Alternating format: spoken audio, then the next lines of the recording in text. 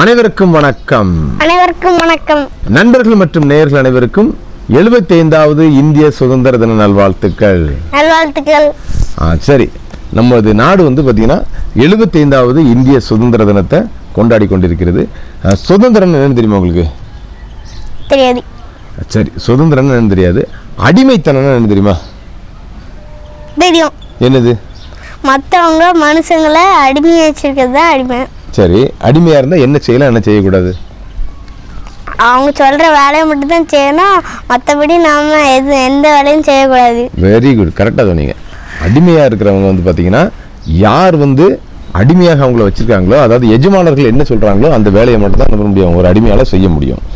ஒரு மனுஷனுக்கே அந்த நிலைமைன்னா ஒரு நாடே அடிமையாக இருந்தால் எப்படி இருந்திருக்குன்னு யோசித்து பாருங்க. எழுபத்தைந்து வருடங்களுக்கு முன்னால் நமது சுதந்திர இந்தியா அடிமை இந்தியாக இருந்தது. அதாவது ஆங்கிலேயர்களுக்கு அடிமையாக இருந்துச்சு. அப்போ வந்து பார்த்தீங்கன்னா நம்ம சுதந்திரமாக பண்ண முடியாது? நடமாட முடியாது. சுதந்திரமாக எதுவும் பேச முடியாது. சுதந்திரமாக எதுவுமே செய்ய முடியாது. படிக்க கூட முடியாது. சரியா? அவங்க சொல்கிறத என்ன பண்ணணும்? நீ செய்யணும். நீ யாரு? அப்போ அடிமை. இப்போ யாரு? சுதந்திர மனிதன். ஸோ இந்த சுதந்திரத்தை நம்ம அவ்வளோ ஈஸியான பண்ணல? வாங்கல.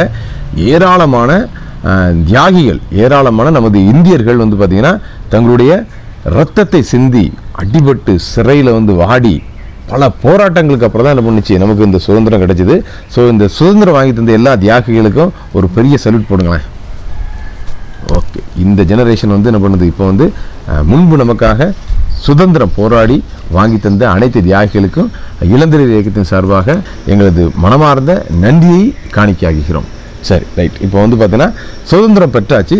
சுதந்திரம் பெற்றதுக்கு அப்புறம் பார்த்தீங்கன்னா சுதந்திரத்துக்கு முக்கியமான ஒரு பொருள் வந்து நமக்கு என்ன பண்ணுச்சு? சுதந்திரத்தை உலகெங்கும் பரசாச்சு அது என்ன தெரியுமா? தெரிஞ்சுக்கணும். அது என்ன அப்படின்னா கொடி. கொடினா என்ன தெரியுமா உங்களுக்கு? இந்திய தேசிய கொடி. கொடி வெறும் துணி தான் ஆ வெறும் துணி தான் ஆனால் அது சாதாரணமான துணி இல்லை. சுதந்திரத்துக்கு முன்னால இரும்பு துணியா? இரும்பு விட அதிக சக்தியான துணி அது. அதாவது சுதந்திரத்துக்கு முன்னால அதாவது சுதந்திரத்துக்கு முன்னால ஆயிரத்தி தொள்ளாயிரத்தி நாற்பத்தி ஏழு ஆகஸ்ட் பதினைந்துக்கு முன்னால் வந்து பார்த்தீங்கன்னா டெல்லியில் இருக்கிற செங்கோட்டையிலையும் சரி நம்ம தமிழ்நாட்டில் இருக்கிற ஜார்ஜ் கோட்டையிலையும் சரி ஆங்கிலேயர்களோட கொடி தான் பிறந்துச்சு. அப்போ அந்த சுதந்திரம் கிடைத்ததுக்கு அப்புறம் நமக்குன்னு ஒரு கொடி வேணும். அப்படிதானே நம்ம நாட்டுக்குன்னு ஒரு கொடி வேணும். வேணுமா வேண்டாமா? இப்போ நீங்கள் கையில் கூட போட்டிருக்கீங்கல்ல? இந்த கலர் வந்து எப்படி வந்துச்சு தெரியுமா உங்களுக்கு தெரியுமா? தெரியும். தெரியாது தெரியாது. அப்போ இந்த ஜெனரேஷனுக்கு எதுவுமே தெரியாது. அப்போ நம்ம சொல்லணும் இல்லையா? சொல்லணும். சுதந்திர இந்தியாவோட கொடி எப்படி நமக்கு வந்துச்சுன்னு தெரியுமா? தெரியாது. தெரியாது. அப்போ அதை தெரிஞ்சுக்கணுங்கிற ஆசை உங்களுக்கு இருக்கா? இருக்கு. அதாவது நாடு சுதந்திரம் அடையிறதுக்கு முன்னாலே வந்து பார்த்தீங்கன்னா நமக்குன்னு ஒரு கொடி உருவாக்கணும்னு சொல்லி என்ன பண்ணாங்க? நம்முடைய நாட்டின் தலைவர்கள் எல்லாம் என்ன பண்ணாங்க? முடிவு பண்ணாங்க. ஸோ அதனால வந்து பார்த்தீங்கன்னா ஆந்திராவை சேர்ந்த பிங்கிலி வெங்கையா. பிறந்தது பிங்கிலி. வெங்கையா. அவர் வந்து பார்த்தீங்கன்னா ஒரு சுதந்திர தியாகி. வெங்காயம் இல்லைடா வெங்கையா. ஆ, அப்படிங்கிறவர் என்ன பண்ணாரு? அவர் வந்து இந்தியாவோட ஆந்திர மாநிலத்தை சேர்ந்தவர். அவர் ஒரு தியாகி. அதாவது பிரிட்டிஷோட படையில் வந்து பார்த்தீங்கன்னா போர் வீரராக இருந்தவர். அதுக்கப்புறம் பார்த்தீங்கன்னா நாட்டோட விடுதலைக்காக அந்த இதுலேருந்து வெளியில் வந்து நாட்டுக்காக பல போராட்டங்கள் போராடி சிறை சென்றவர். அவர் அப்புறம் தான் என்ன பண்ணுறாரு ஜூலை இருபத்தி ரெண்டாம் தேதி பண்ணுறாரு ஒரு கொடியை வடிவமைத்து என்ன பண்ணுறாரு நம்முடைய தலைவர்களுக்கு. அதாவது பார்த்தீங்கன்னா அந்த காலத்தில் இருந்த காந்தியடிகள் மற்றும் நேரு போன்ற தலைவர்களிடத்தில் பண்ணுறாரு அந்த கொடியை கொடுக்காரு. கொடியை கொடுத்துன்னு பார்க்குறாங்க. சூப்பராக இருக்குது இதே என்ன பண்ணிக்கலாம்? வச்சுக்கலாம்னு சொல்கிறாங்க அது எப்போ? ஜூலை ஆயிரத்தி தொள்ளாயிரத்தி நாற்பத்தி மூணு. ஏழு. இருபத்தி ரெண்டாம் தேதி. என்ன பண்ணுறாங்க என்ன பண்ணுறாங்க அதை அக்செப்ட் பண்ணிக்கிறாங்க.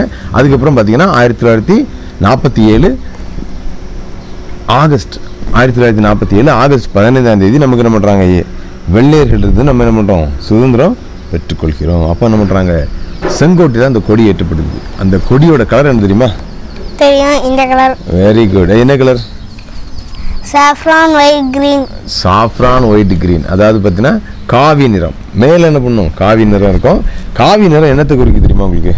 தெரியும். தியாகம். வெரி குட் தியாகம் மற்றும் வீரத்தை குறிக்குது. சரியா? அதுக்கப்புறம் மத்தியில் இருக்குல்ல? அந்த வெள்ளை கலர். அது எதை குறிக்குது? உண்மை. உண்மை மற்றும் தூய்மையை குறிக்குது. தூய்மையாக இருக்கணும் அதே நேரத்தில் ஒன்று உண்மையாக இருக்கணும். அது மத்தியில் வந்து பார்த்தீங்கன்னா ஒரு சின்னதாக ஒரு வட்டம் இருக்கும். பார்த்துருக்கோம் அதில் அது என்னது? அசோக சக்கர. சூப்பர். கலக்குறீங்க.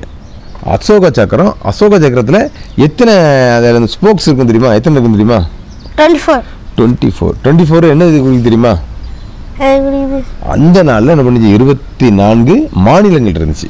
இந்தியா வந்து பார்த்தீங்கன்னா ஒரு யூனியன் அதாவது மொத்தமாக அனைத்து மாநிலங்களும் சேர்ந்த ஒரு ஒன்றியமான ஒரு அமைப்பு தான் வந்து பார்த்திங்கன்னா இந்தியா அப்படிங்கிறது. சரியா? பல மாநிலங்கள் இருக்குது தமிழ்நாடு கேரளா ஆந்திரா கர்நாடகா உத்தரப்பிரதேசம் மத்திய பிரதேசம் அப்படி பார்த்தீங்கன்னா மொத்தமாக என்ன பண்ணியிருக்காதான் ஒன்றிய அரசுன்னு கூட இப்போ சொல்கிறாங்க இவை அனைத்தையும் ஒருங்கிணைப்பு தான் மத்திய அரசு. ஸோ அதில் வந்து இருபத்தி நாலு ஸ்போக்ஸ் வந்து பார்த்திங்கன்னா இருபத்தி நாலு மாநிலங்கள். இப்போ வந்து பார்த்திங்கன்னா நிறையா இருக்குது இப்போ இருபத்தெட்டு இருக்குது அப்போ வந்து இருபத்தி நாலு இருந்துச்சு ஸோ அதை தான் என்ன பண்ணிச்சு அந்த சக்கரங்கள் குறிக்குது. சரி அதுக்கு கீழே வந்து பச்சை கலர் இருக்குது ஆ.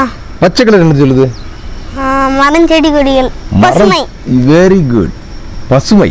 நமது நாடு வந்து என்ன பண்ணுச்சு? விவசாய நாடு. சரியா? விவசாயத்தை நம்பி இருக்கிற நாடு. விவசாயம் தான் வந்து பார்த்தீங்கன்னா இந்தியாவின் முதுகில் முன்னிலை பண்ணுறாங்க காந்தியடிகளே சொல்கிறார் ஸோ அதனால் வந்து விவசாயத்தையும் பசுமையும் குறிக்கிற மாதிரி என்ன பண்ணிருக்காங்க அதில்? பச்சை கலரை நம்ம பண்ணியிருக்காங்க போட்டிருக்காங்க. ஸோ இதை வந்து நம்ம என்ன பண்ணோம் அனைவரும் தெரிந்து கொள்ள வேண்டும். நம்முடைய கொடி என்பது வந்து பார்த்தீங்கன்னா தாய் நாடு தாயின் மணிக்கொடின்னு சொல்லுவாங்க. நம்ம தாயை நம்ம திட்டுவோமா. நம்ம வந்து நம்ம தாயை வந்து பார்த்தீங்கன்னா என்ன பண்ணுவோம் நம்ம? அவமரியாதை பண்ணுற மாதிரி பண்ணுவோமா. அதே மாதிரி தான் தாய் நாட்டையும் தாய் நாட்டோட கொடியே என்ன பண்ணணும் பேணி போற்ற வேண்டும் சொல்லி என்ன பண்ணுறாங்க எல்லாரும் சொல்கிறாங்க அப்படி தான் செய்யணும். செய்வீங்களா நீங்கள் சரி அப்போ வந்து தேசிய கொடி எது இதெல்லாம் செய்யணும் செய்யக்கூடாதுன்னு சொல்லி பார்க்கலாமா? தேசிய கொடி வந்து பார்த்தீங்கன்னா ரெண்டாயிரத்தி இரண்டாம் ஆண்டுக்கு முன்னால் நீ நினச்ச மாதிரி ஏற்ற முடியாது. சரியா? அரசு அலுவலகங்களில் அது மாதிரி பார்த்தீங்கன்னா நாடாளுமன்றம் அது மாதிரி பார்த்தீங்கன்னா அரசு கட்டடங்களில் மட்டும் தான் நம்ம முடியும் ஏற்ற முடியும். தனியார்கள்லாம் ஏற்ற முடியாது. ரெண்டாயிரத்தி ரெண்டுக்கு அப்புறம் எங்கே வேணாலும் எதுங்கன்னு என்ன பண்ணாங்க? ஒரு சட்டம் கொடுத்துட்டாங்க. ஸோ என்ன பண்ணலாம்? இப்போ கூட நீங்கள் என்ன பண்ணலாம்? உங்கள் வீட்டில் நினச்சா ஏற்றலாம் ஆனால் எப்போ ஏற்றி எப்போ இறக்கணும் தெரியுமா? தெரில தெரிஞ்சுங்க காலையில் ஏற்றணும் சூரியனோட அஸ்தமனத்துக்கு முன்னால் இறக்கிடணும். அதாவது ஆறு மணிக்கு முன்னால் என்ன பண்ணிடணும்? தேசிய கொடியை கீழே இறக்கிடணும். இரவில் என்ன பண்ணக்கூடாது? தேசிய கொடியை பறக்க விடக்கூடாது.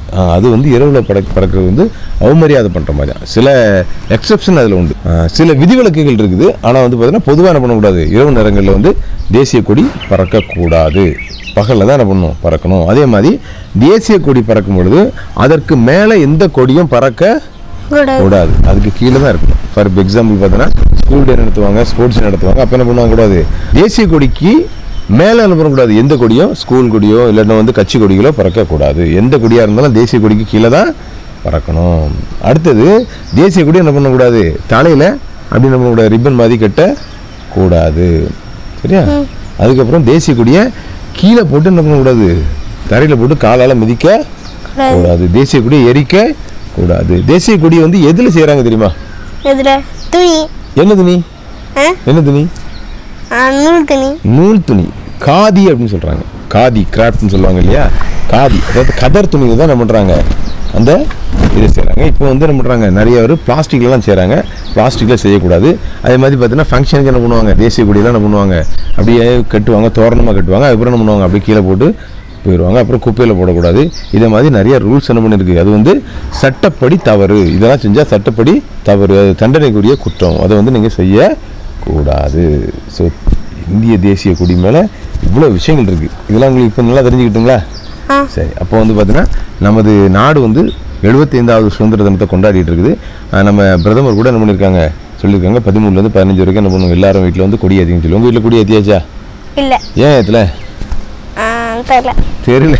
சரி சரி. ஆனால் கண்டிப்பாக எல்லோரும் என்ன பண்ணோம் ஏட்டணும் ஆனால் இந்திய சுதந்திர தினத்தை நம்ம கொண்டாடுற நாம கொடியேற்றினா மட்டும் போதாது. அதோட உணர்வு நமக்கு வேணும். சரியா? கொடியேற்றி இனிப்பு கொடுத்தா மட்டும் எல்லாரும் என்ன பண்ணும் சுதந்திரத்தை கொண்டாடிச்சோம் அப்படிங்கிறதெல்லாம் கிடையாது.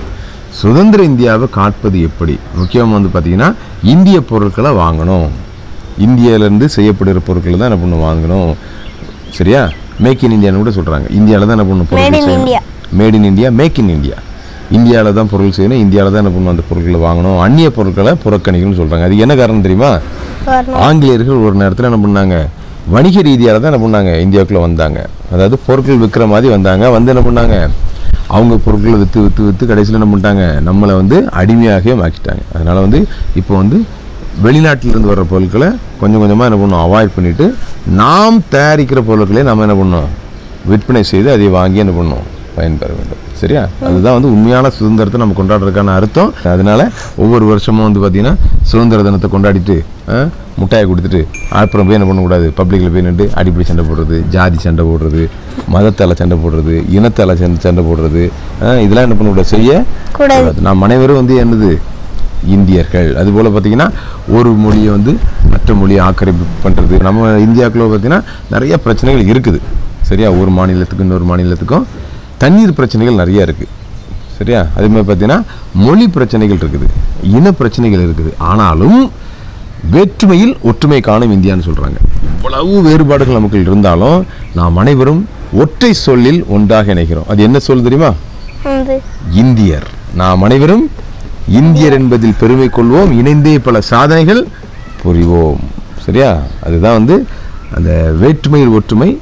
பல மாநிலங்கள் பல மொழிகள் பல இனங்கள் பல மதங்கள் இருந்தாலும் நாம் அனைவரும் இந்திய தாயின் பிள்ளைகள் என்பதில் ஒற்றுமையோடு ஒன்றுபட்டு வாழ்வோம். நண்பர்கள் மற்றும் நேயர்கள் அனைவருக்கும் எழுபத்தைந்தாவது சுதந்திர தின நல்வாழ்த்துக்களை இளந்தலை இயக்கத்தின் சார்பாக தெரிவித்துக் கொள்கிறோம்.